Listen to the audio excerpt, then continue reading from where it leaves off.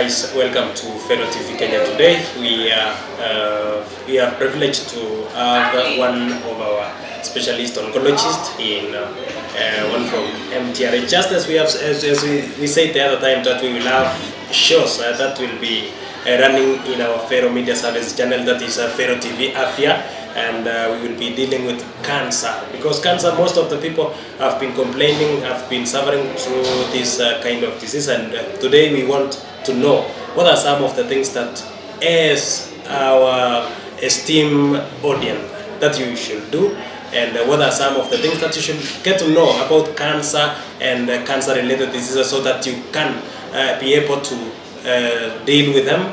Or if you are you have been affected in one way or another you will also know some ways to cope with the disease. Now welcome to uh, our Fero TV channel and uh, here to, with me I have a co-host just uh, do some introduction so that we can invite our guest Uh, welcome so much. My name is Nito Collins, uh, representing Fero Media Services. Thank you. welcome now back to you um, I want to now launch officially the program of today that is Fero TV Afia and uh, just as we have said we have an oncologist I want to welcome her so that she can uh, choose some brief introduction uh, welcome uh, this is Fero TV Kenya and uh, we are privileged to have you in your office Thank you. Okay. Now, uh, can you briefly have a moment and uh, just introduce yourself to our audience? My name is Dr. Auma Obuya. I'm a practicing clinical oncologist at MTRH Eldoret. Yes. Yes. Thank you. Uh, welcome. Thank you, and uh, thank you for your introduction. Now, uh, shortly after introduction, uh, kindly uh, we want to allow you to give us uh, a brief introduction about maybe there are some of our listeners, those some of our followers who don't know what cancer is. You know, there are some who have no idea about cancer. Can you briefly give us information on cancer and the latest advancement in treatment of cervical cancer, breast cancer, prostate cancer, and other related diseases? Okay. So cancer is a disease, eh? and it is a chronic disease that is uh, mainly uh, happens because of what we call mutations. And what when I say mutations, I mean that all of us have things called DNA that is arranged so well in a very precise manner. So just alteration in a protein or in an amino acid eh, can send the signal to what we call the cell cycle so that the cell cycle continues perpetually.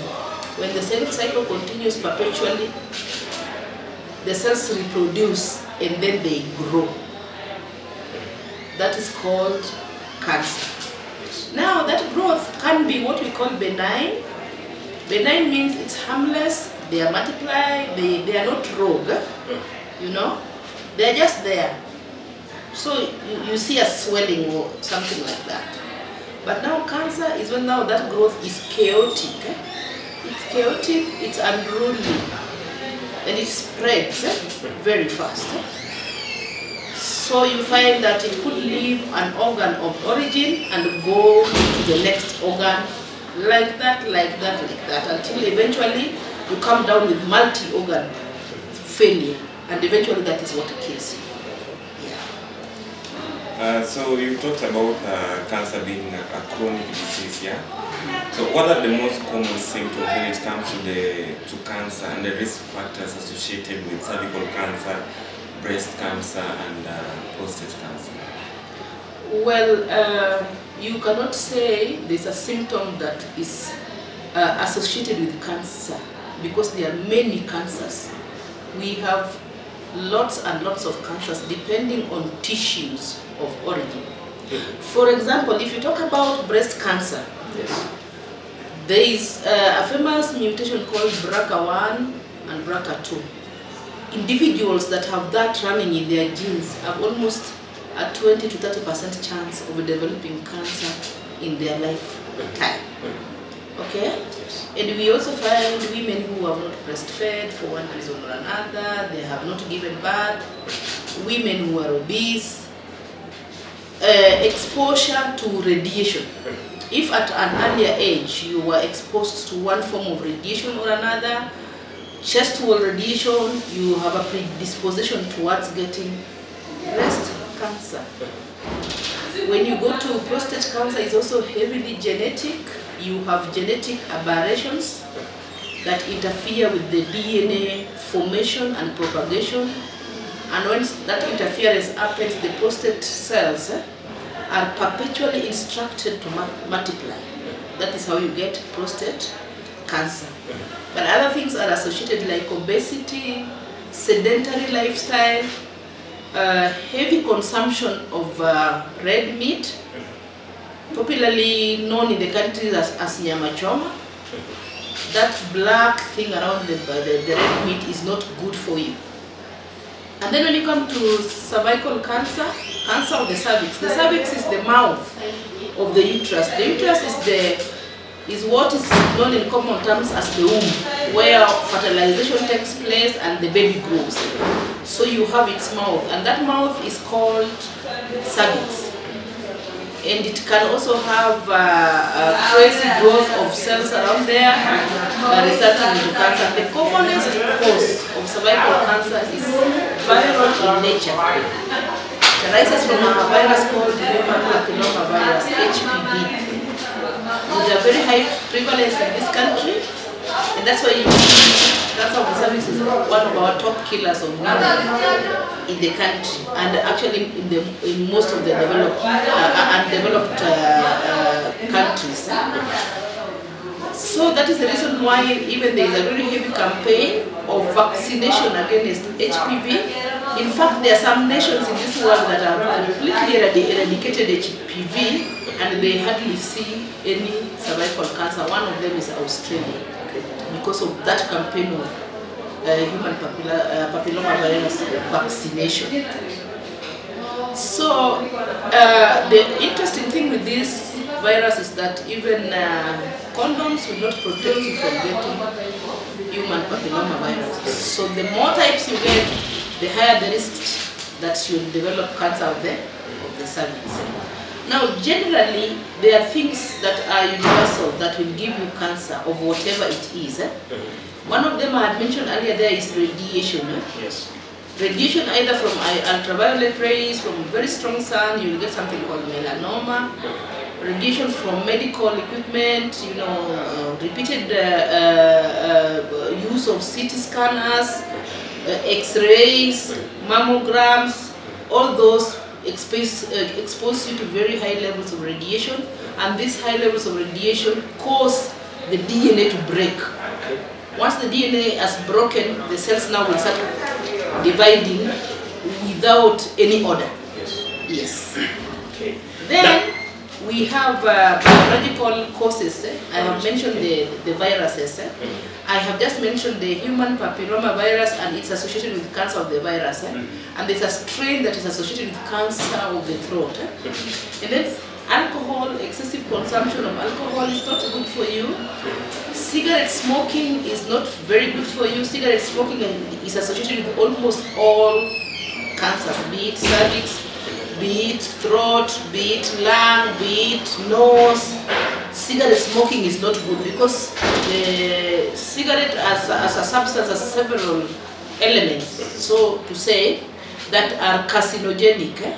Carcinogenic means that they predispose to cells towards aberrations in their DNA and therefore encouraging their multiplication without without any order.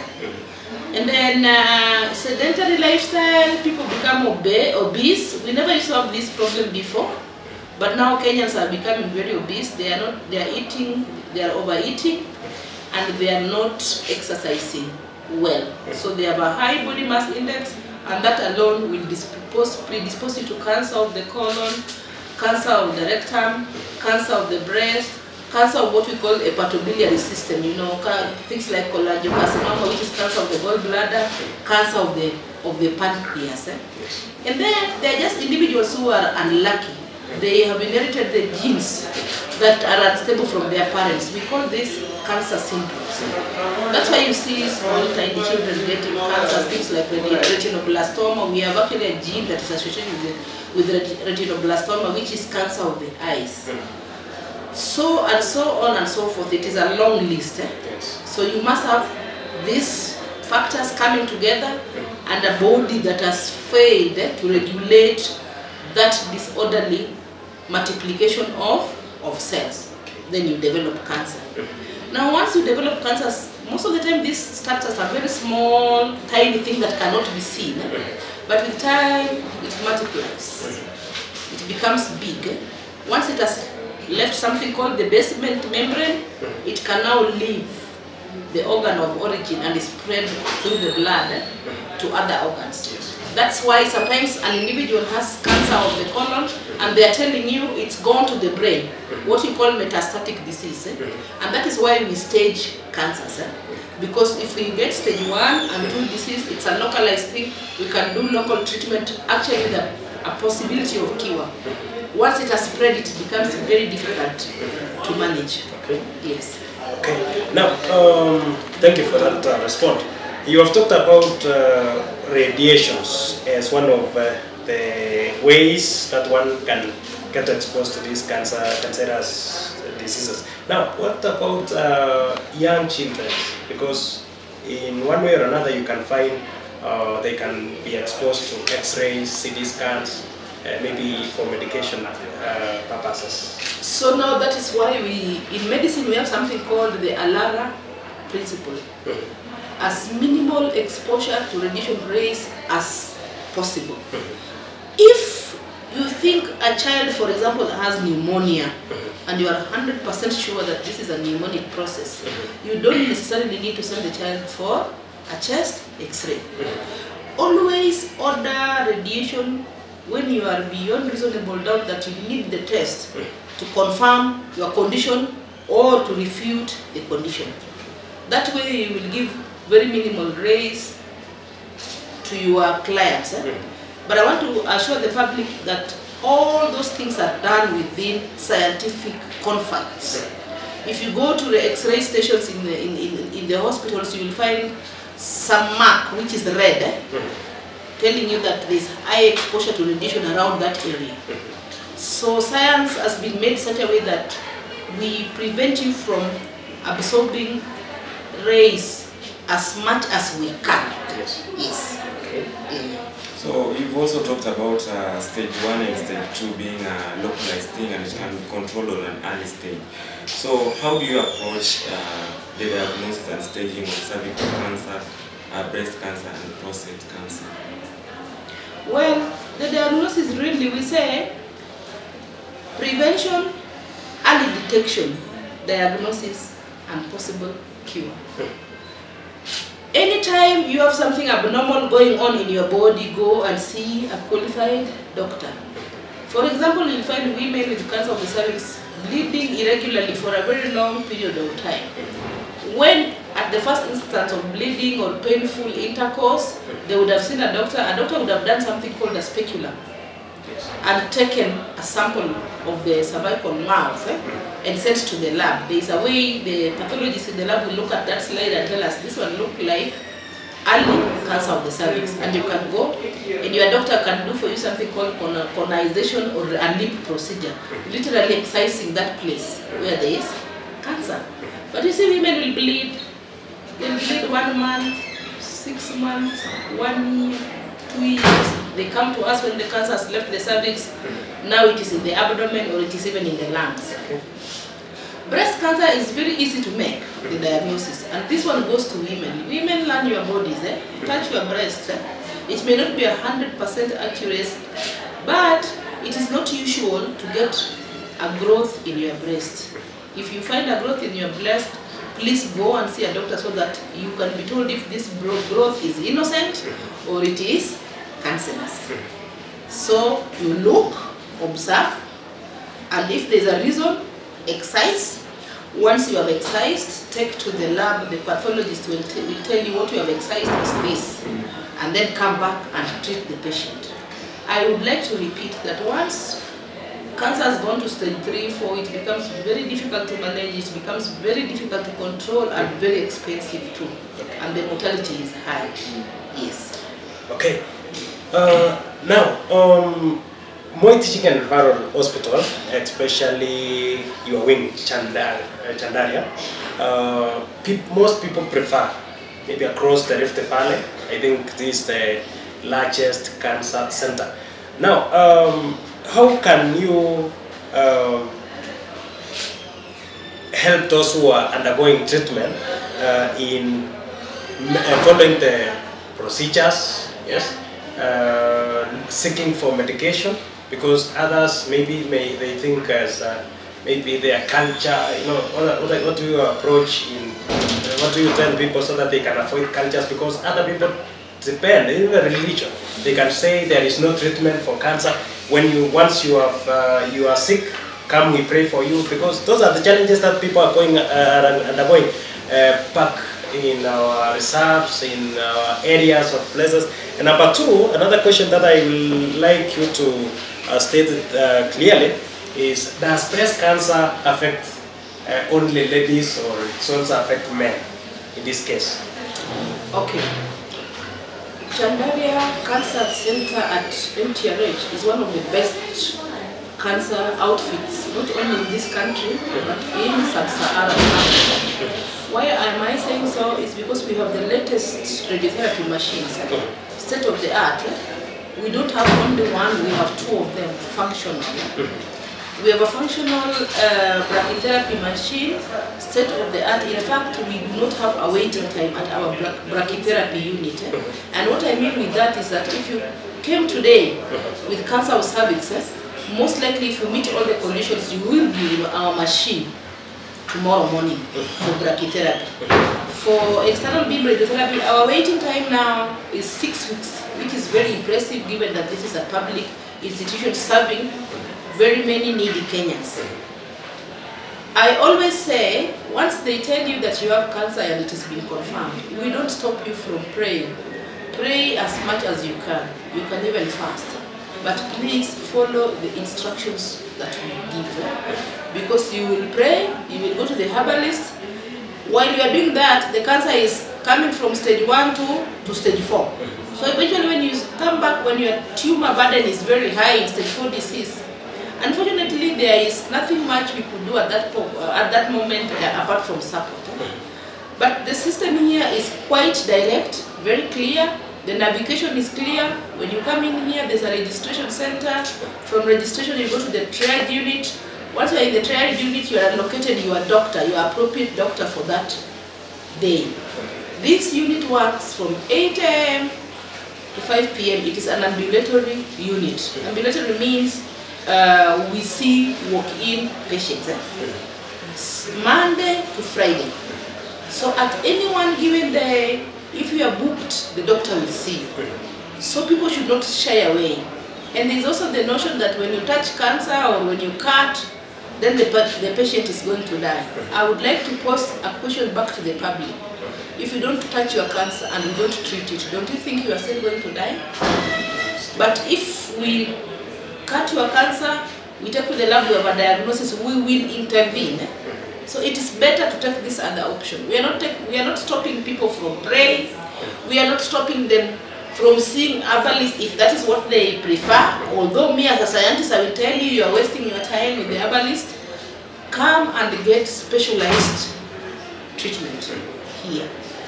What was the other question? The question number two? the question was, um, does uh, breast cancer, prostate cancer, and uh, uh, cervical cancer affects only uh, gender, one gender that is ladies? Now, prostate cancer only affects men because only men have have uh, prostate gland. eh?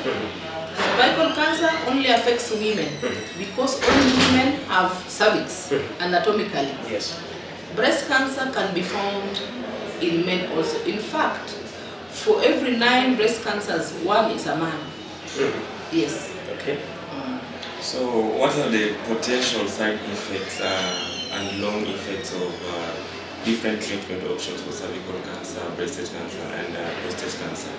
So there are those things you call uh, side effects. The public will call them side effects. We call them adverse events. eh? Adverse events is in that they are uncomfortable things that you must experience as you undergo treatment. Now there are those that you call acute. There are others that you call intermediate. Then there are others that you call long term. Depending on if you are receiving chemotherapy or radiation therapy. The commonest effect that cuts across the board, whether you are receiving radiation or chemo, is that your white cell count can go low, your red cell count can go low, your HB can go low, and from time to time we can request you to bring people to donate blood so that you are transfused. Sometimes people develop sores in the mouth, terrible sores in the mouth. eh? We call that mucositis, and that is that cuts across all. eh? People can vomit, people can have diarrhea, people can have hair changes, your hair may fall off, you have nail changes, you can get nail dis- discoloration, you can have your palms becoming discolored, most likely becoming dark. Now, long-term uh, uh, complications are things like fistulas, fibrosis. Fistula is a communication between one surface or another. For example, you know, you have uh, cancer of the cervix, then now you get communication between the bladder, which is the store for urine, and the vagina. So you have urine leaking through your vagina throughout. Eh? Or you have a communication between the rectum where the stool is kept and your vagina. So you have stool leaking in your vagina throughout. Those are long- long-term uh, effects of, of treatment.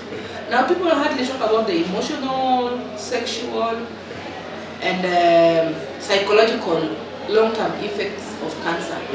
Cancer as a disease comes with a heavy burden. Economically, people lose sources of income.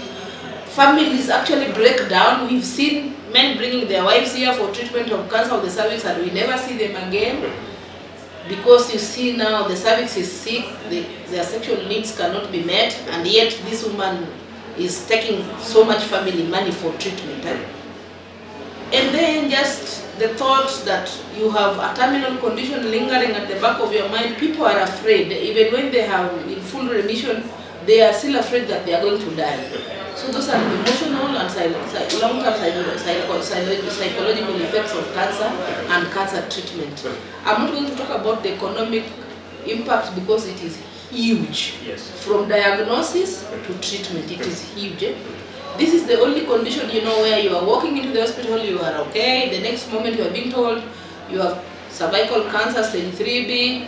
We need to radiate you in this public hospital. If you don't have an NHIF, your treatment is going to cost almost 120,000.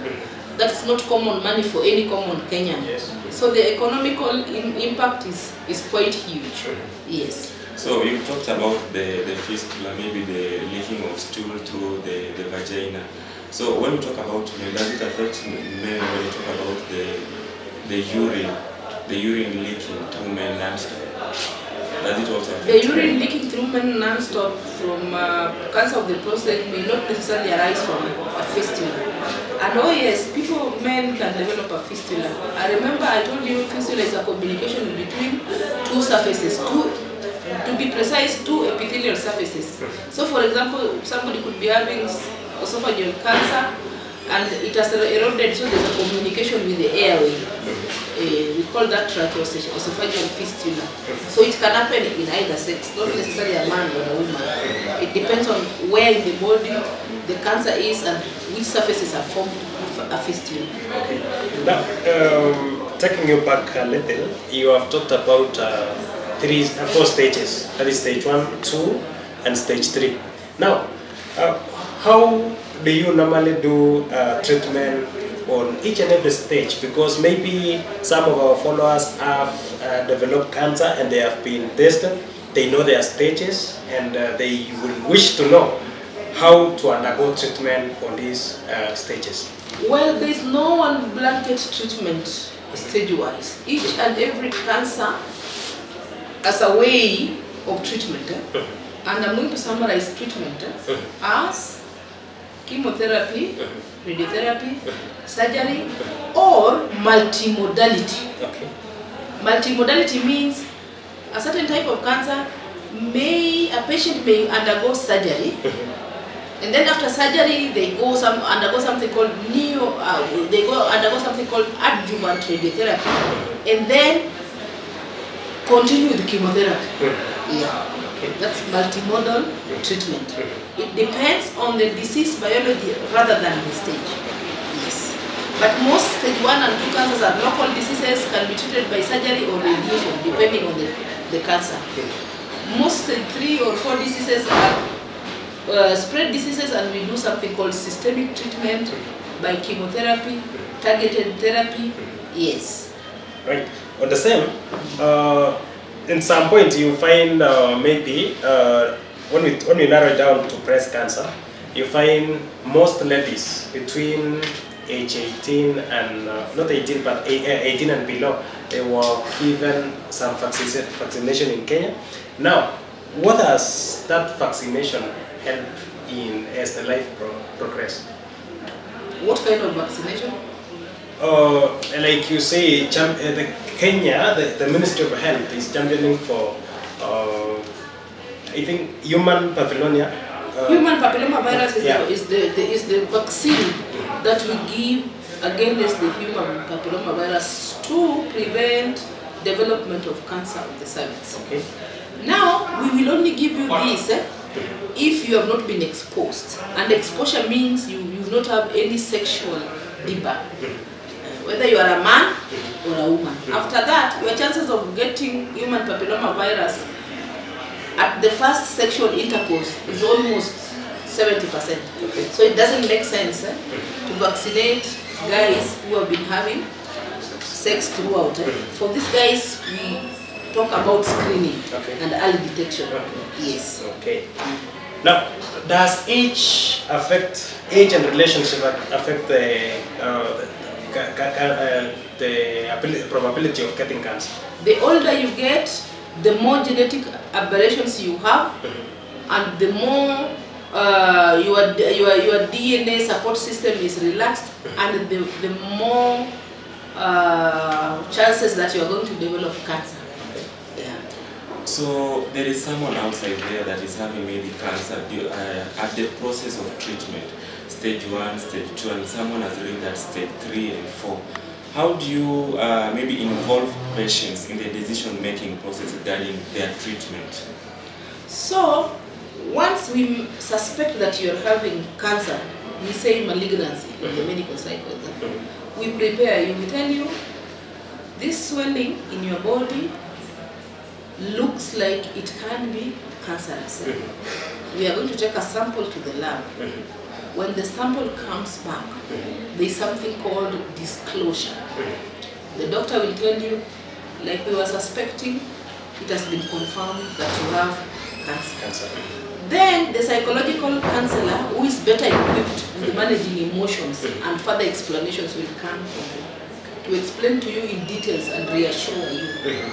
And then they'll send you back to your doctor, who will tell you you have cancer of the cervix 2B, which is a potentially curable condition. This is how we are going to go about your treatment. We are going to give you external beam radiotherapy with weekly chemotherapy and thereafter brachytherapy. That treatment is outlined very well so that as you go home, you know what to expect in terms of resources, in terms of time, in terms of uh, the requirements. Yes. Okay. So it is, that's why I said cancer treatment is multi-speciality, mm-hmm. multi-modality. Mm-hmm. We work closely with the nutritionists, mm-hmm. uh, counselors, We work closely with chaplains, occupational therapists, physiotherapists, and there are things called support groups. You know, if you have cervix cancer, we put in a support, a support group of people who have cervical cancer so that you can exchange experiences eh, and ideas. eh. So it is a long thing. That's why I say it's a chronic thing. It's not a one-touch thing. Yes. In fact, we get so involved with our patients, we feel like part of that family. Yes. So do we have such cases, maybe someone after being tested, he has been diagnosed with cancer 2B, like you've mentioned. We have such cases like someone maybe uh, denies himself, maybe he denies even the results from the doctor. Sure. Denial is part of the grieving process. It almost automatically happens. No one wants to accept that a bad thing is going to happen to them. So part of the brain protecting an individual is block that and say, I don't have it. Yes. So it's part of the grief process. That's why the counselor is there. Some people grieve shortly and move on. Some people grieve forever. And you have to accept that. People are different. Yes. So denial is part of the thing. And it's actually what fuels going to the herbal way, going to the prayer way. Yes. So eventually when they come back, they are now used to their situation and they are ready to receive help. Yeah. All right. Now, um, thank you for that response also. Now, uh, following the, the interview, there is this question that uh, one of our follower may be asking himself. Can you provide information on any support services that resources are available for patients and their families coping with cervical cancer, breast cancer, and prostate cancer may have? I have talked about the support groups. Okay. In our institutions, we have them. Mhm. Yes. There are channels that channel individuals to different support groups. And uh, from time to time, we have uh, we have uh, incidences where survivors meet for support, exchanging experiences, and it usually is a very beautiful meeting to be at. Yes. So you organize as a So we have channels. We have we definitely have support support groups. Mhm. Breast, cervix. Yes. thank you.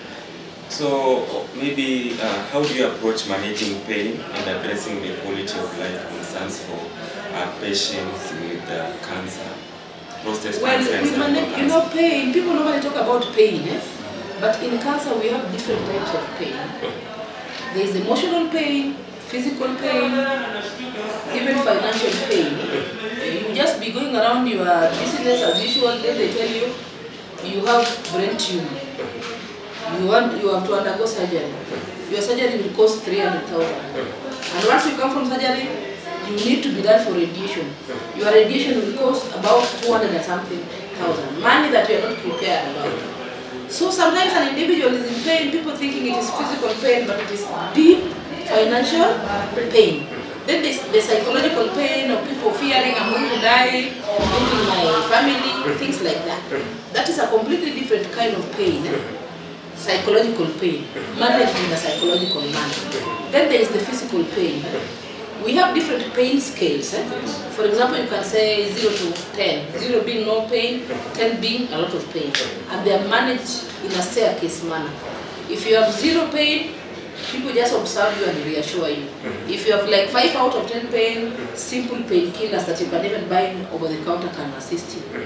Beyond that, we now give you things called opioid, opioid analgesics, morphine, you know, yes, So treating cancer is expensive. So very expensive. so does NHIF cover treatment? Yes, up to this moment, NHIF pays for most of cancer treatment in public hospitals. Yes. Okay.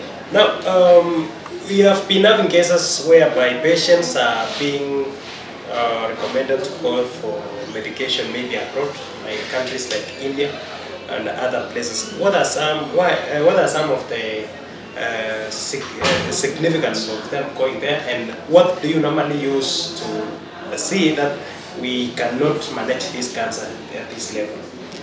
Actually, in this country, on 20th of March 2024, there is no cancer that is being managed in India that cannot be managed. Yes. We have the expertise, even if we are few, we have the equipment. So you will hardly find us as qualified oncologists sending patients abroad. However, patients sometimes feel they need to seek second opinion abroad. It's okay. So it's their decision that they, Most- they are not satisfied almost, with your almost up to 90% of those patients, it is their decision. Okay. I would like to go and get treatment abroad. Okay. Yeah. So it's not uh, it's not that the, the country is not able to manage No, the no, no, cancer. no, no. is their own decision. Apart from few things like bone marrow transplantation Yes, yes. what have you, we manage most of those things Okay. comfortably without tr- straining. Yes. So how do you stay uh, up to date on the latest research and guidelines for treating uh, cancer? Well, as a doctor, they say the day you stop reading is the day you start dying. Yeah, we always read, we go for, we do research, we go for conferences to gain new knowledge from colleagues. Yes. So um, thank you for those responses. Now, as we approach the conclusion, uh, what can you tell our viewers on how to manage these cancers, how to go about it, uh, resources, and uh, the rest? Uh, that may be thinking like after you have been diagnosed of cancer, you are you are dead. What the viewer should know is that the best way to manage cancer is to prevent it. Remove yourself from situations that can predispose you to developing cancer. Yes. And once you have got the diagnosis of cancer, don't to spend too much time grieving. Accept treatment and follow the doctor's instructions to the letter. If you're not satisfied with your doctor, go seek second or even a third or a fourth opinion. Yes. Okay. And cancer, as much as some of them are terminal, now we say cancer is a chronic disease, manageable just like diabetes, hypertension. In fact, when you go to our clinic there, the line is very long. Some of those patients, we've been treating them for the last 5, 7, 10, 12 years. Hmm. Yeah. Okay. Maybe apart from biological genetics, does uh, hygiene and uh, maybe balanced diet affect or cause cancer? We had talked about that. Red meat is bad. Okay. Too much of everything is bad. Sugars, fine sugars, not good for you. You know, ice cream, sweets, chocolates, carbonated drink, not good for you. Okay. Always try to do everything in moderation. Okay. Yes. Okay. Thank you. Maybe you can add uh, something before we conclude. Uh, maybe your parting shot as uh, we conclude. Parting shot is that listen to your body. Never ignore any symptom, however mundane it is. A very tiny black spot at the sole of your foot eh, can be the beginning of a nightmare called malignant melanoma. It will not be painful. It will just be a black spot there, seated, relaxing. The next day, you are not breathing. We do a chest X-ray. We have what we call cannonballs. Eh? The melanoma spread from the feet to the lungs. Listen to your body, look at your body, and never ever ignore any small symptom. Okay. All right. Uh, thank you, thank you. It has been a good um, time to have you in our interview today, and uh, we are looking forward to having you once uh, any other time that we will seek. Maybe our audience may be following us, and they will seek for more and more uh, interviews of the same. So I, I know that one day, one time, we will reach out to you again so that we can have you again in our interview. And uh, thank you for your time, all our viewers, whenever you are. Continue following our channel, Fero TV Kenya. I want to also to accredit our technical team, that is Wanguchi, who has been our uh, potential camera uh, operator, and um, Edmond, Edmond, our camera uh, camera person also, and uh, our doctor here, that is an oncologist. Also, encourage your students to go higher education, join tertiary institutions to pursue medical courses, so that we can have more like uh, our madam here, who has an, enrich us with uh, skills, enriched us with information concerning cancer. So thank you for your time. Have a blessed time. So it has been a learning session. Actually, I myself have really benefited from Doctor here.